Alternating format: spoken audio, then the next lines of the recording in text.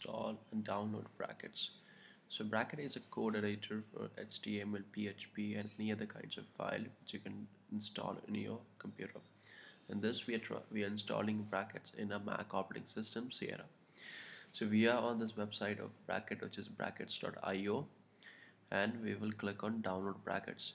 So this will download the bracket.dmg file. If you go into the download section I have already downloaded this. So this is bracket.dmg file. I'll open that file.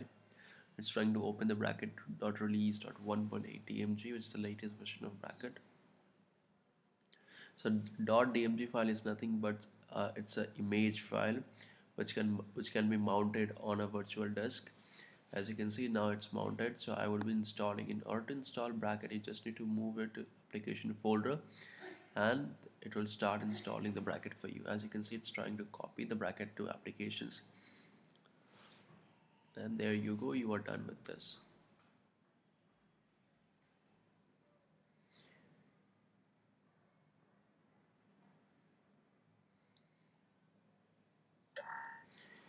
Alright, so it seems like the bracket is now installed. If we go to the application folder, you would be able to see brackets here.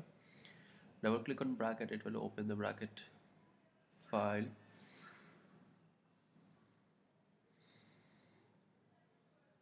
so for the first time it will try to verify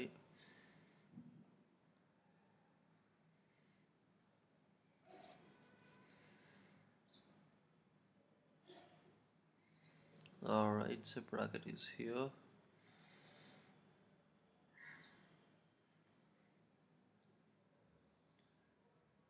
And we are good to go. So this is a demo page of how to uh, about bracket files that bracket can support. So this is a nice example of using bracket. In our next video you would we would be covering much more about it. Thank you for watching. Please subscribe to our channel. Bye bye